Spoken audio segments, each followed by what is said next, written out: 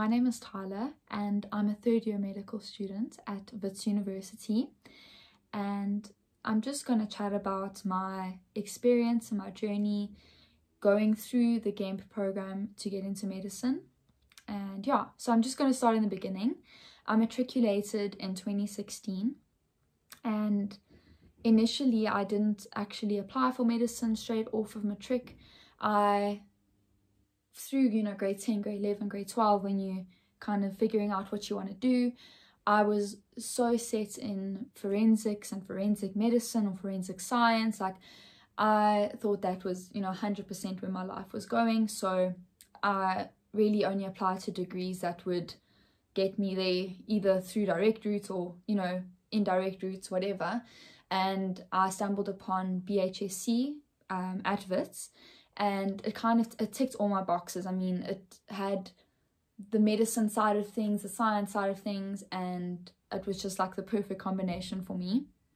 So I started off, you know, going through first year and first and second year are the same between BHSC and medicine. So through that, I realized like medicine is 100% like what I want to do. So I'm going to start off in first year it was very general. Like the subjects were super general, you know, physics, chem, you know, like first year for every degree it's just like a mix of everything. So like I feel like you can't really decide what is your passion and what you are excelling at because it's just so spread out. I don't know. And also first year was like a lot of fun. I enjoyed myself and I wasn't super focused on marks because I was in the degree I wanted to be in and I was in the career path or I was on my way to the career that I wanted to, you know, one day be in. So I was very chilled, just loved life and I had no pressure to do super well because I was just getting by and I, you know, I was having fun first year things. so then second year came along and that it becomes a lot more focused. So uh, we were doing anatomy, molecular medicine, physiology as our like main subjects, and I was like, okay, this is what I want to do, and that's when I decided I want to get into medicine, and like this is what I want to do. And with that realization came like a huge amount of pressure. I mean, as anyone trying to get into medicine will know, like it's very competitive um, you need to be on top of your game, which is, it's stressful, it's a lot of pressure, but I was so happy to have found like my passion because I hadn't felt that before. Even though I thought that forensics was my passion, I realized by how hard I was working and how much I was enjoying everything that this is exactly what I want to do. And it just, it sat right. So from that moment, whenever that moment occurred, I was like, I'm going to work my butt off to get into medicine. And yeah, it wasn't easy. Like second year was super, super challenging, but I was enjoying it with the stress and all of that came with it. Um, so my goal in second year was just to exempt because if I could exempt, then I wouldn't have to write the WAPT exam at the end of third year. So I was like, cool, this is my goal. I'm going to exempt, try get as high average as possible because obviously they take your last two years of studies average. And so i was like cool this is like my chance. I'm gonna exempt and do as well as i can. And luckily i exempted which was so exciting. It was obviously it was tough. And to exempt you need to get over 60 and it seems like oh it's just 60 but it was really really tough to you know you can't drop the ball on any one major. And they concurrently really difficult because the workload is increasing and um you know like personally I wasn't used to studying such large volumes and you know having to maintain consistency through all three. So like it was it was tough but like I was really like blessed that I was able to exempt and um it was not without a lot of hard work a lot of sleepless nights a little bit of breakdowns, but like it was worth it, I suppose. And then came third year. Third year, we got to choose a major.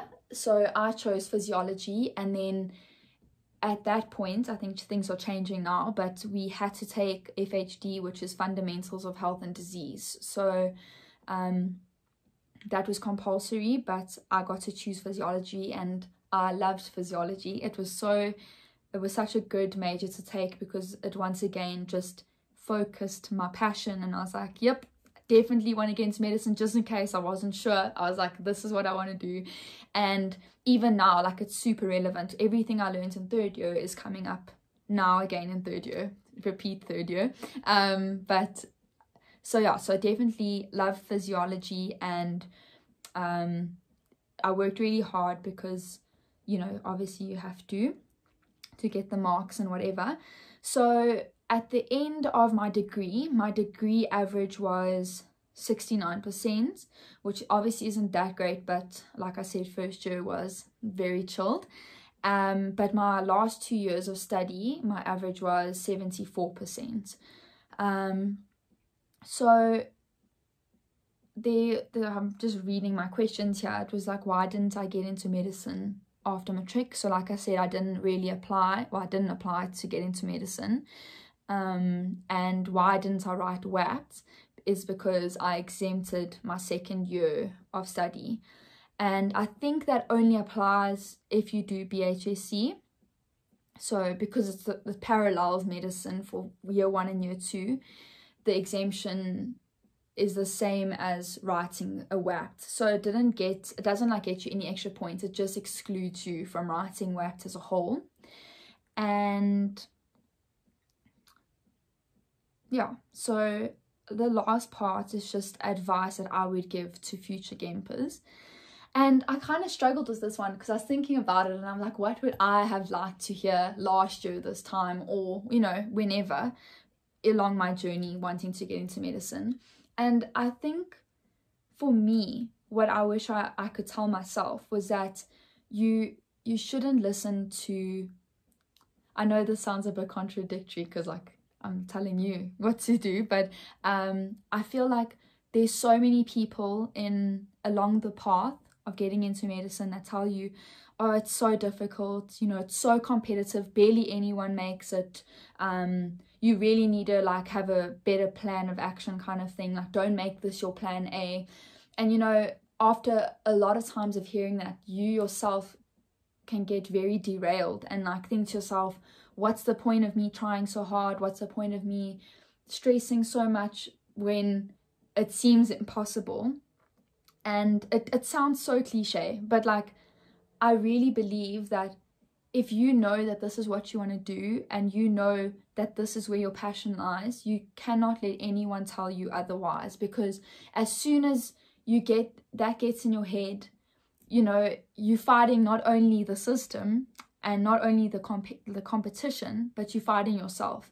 And i feel like if you need anyone you need yourself. You need your your support. You need your own motivation because at the end of the day there's no one else that's going to be able to pick you up after a bad test after a bad week at university after feeling like you're not going to get in. The only person that can pick you up is yourself and you need to keep picking yourself up because it's a long journey and it's it's a very very testing process because it really pushes you to your limits you know like that feeling of, of no matter how good i or how well i perform in this test or how amazing my average is you never truly know if it's good enough until you get in.